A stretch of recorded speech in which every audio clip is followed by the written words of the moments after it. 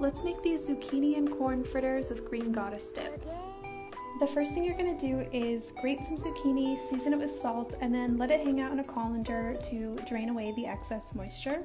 You can use fresh or frozen corn for this recipe. Add your corn kernels to a bowl with some green onions, the zucchini, some flour, cornstarch, an egg, and some salt and pepper.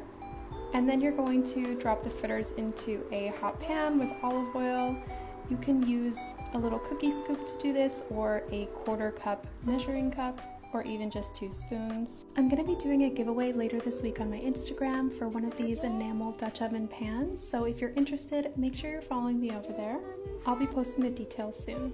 Once the fritters are golden brown on both sides, season them with some flaky sea salt. The green goddess dip is super easy. You're just to blend up some sour cream, basil, scallions, lemon juice, and garlic. Full recipe is on the blog.